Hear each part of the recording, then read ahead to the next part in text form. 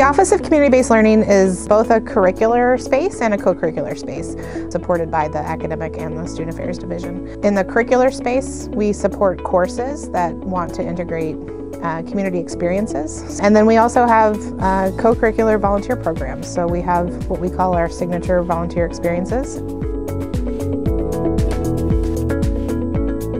Um, Talmar, which is um, a horticultural center in Baltimore County, is a great program that offers kind of opportunities for individuals in the community with veterans with PTSD and anyone um, that has a disability.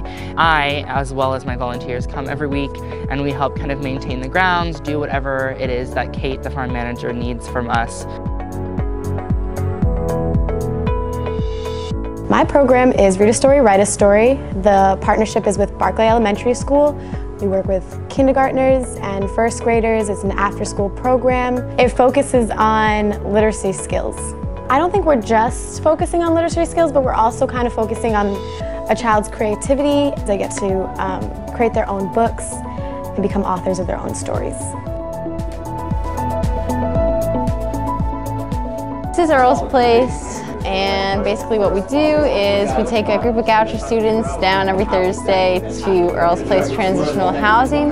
We just engage in creative art projects with the men and create a really sustainable, mutually beneficial relationship. It's pretty, it, it seems basic, but it's really important. One of the things that makes um, Goucher's community-based learning program distinctive is that we allow our students um, to have their own sort of autonomy and, and voice in directing programs. But at the same time, through the Student Leaders for Civic Action program, we provide quite a lot of infrastructure for them to do that. So it gives really strong pre-professional skills while balancing with um, pretty intensive training in reflection, in power and privilege dynamics, in having conversations around race and racism, and understanding Baltimore, understanding the history of Baltimore, right? There's a lot of elements that sort of go into the training that our student leaders receive over the course of a year, and sometimes multiple years, depending on how long they are in their role.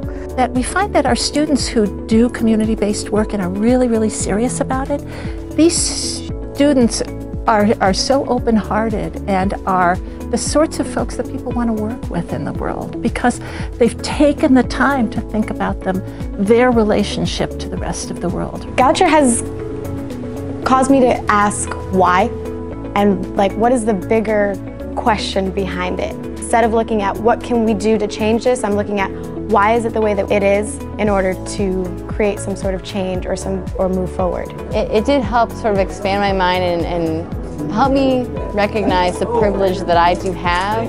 Coming to any space, you should be able to recognize your privilege and understand like you see the world through your own lens and you sort of have to decipher how you navigate that. And I think it's you know, partly my responsibility to kind of be a part of the work that's being done. Um, and a lot of that work is already being done, like for example here at Talmar, and we're just helping support that. It's definitely been really eye-opening to kind of see how many organizations there are and how much amazing work is taking place.